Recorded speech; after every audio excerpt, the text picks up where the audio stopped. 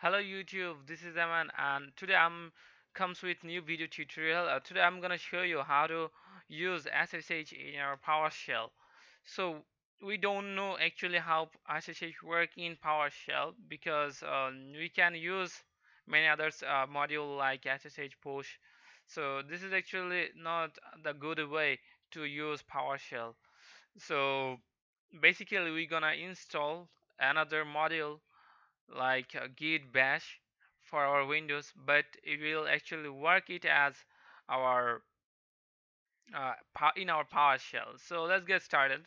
So first of all we're gonna download the git from git for windows. Let's gonna search git for windows. So here's the website download git for windows downloading package. I'm gonna put this link in description. So i'm gonna download the 64 bit. So it's already i have already downloaded so i'm gonna cancel it. So here's my downloaded file already installed too and uh, i'm gonna install it now. Press next next next next next so it's actually installing. So it should be take one to two minutes to get installed. So let's wait in here. Okay it's about to get installed. So we can test our SSH that is actually uh, not working from our PowerShell that uh, before installing the uh, git. But uh, we will link this git with PowerShell so we can use SSH or, or any other Linux uh, terminal command from our PowerShell so it's about to install right now. Okay uh, it's installed. So you can see that uh, launch git bash.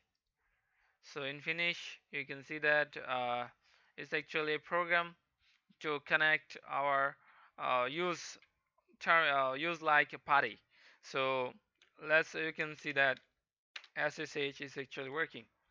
So we are gonna now we're gonna use PowerShell instead of git bash but you can see that SSH is not working in here. So first of all we go to the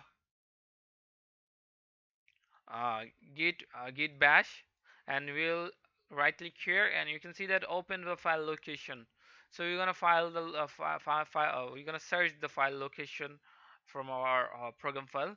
So you can see that uh, the file location is in here.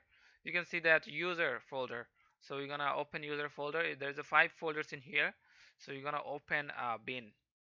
So in bin folder we'll uh, copy the bin folder location. And you're gonna open uh, right click the properties of uh, start button and open a system. And the advanced system settings uh, we're gonna go to environment variables. And we're gonna click the path twice and you can see that uh, the git cmd is already in here but we're gonna add a new uh, environment variable in here. So let's uh, press new and we'll pass the copied uh, directory list in here. So the directory will paste the directory in here. So that means the program file git user bin. So it will be your uh, installation location or file location of bin folder. So press click ok and ok and okay so when you have uh, added the environment variable uh, we're gonna restart our server to work properly in PowerShell. So let's restart our server. So I'm gonna restart my server now. Okay the restart process has been done. Um, so we can check our PowerShell. So we're gonna open PowerShell as administrator mode. So you can see that administrator in here so we can uh, type SSH you can see that SSH command actually working now. So we can now connect our any of our server from this uh, PowerShell terminal. Like let's uh, uh, increase the font size.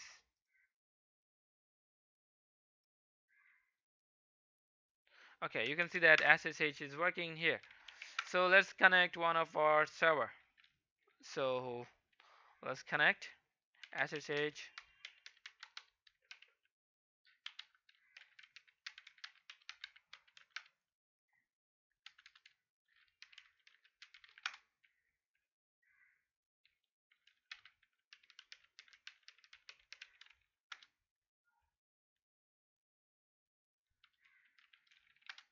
okay I connected one of my Ubuntu server in here.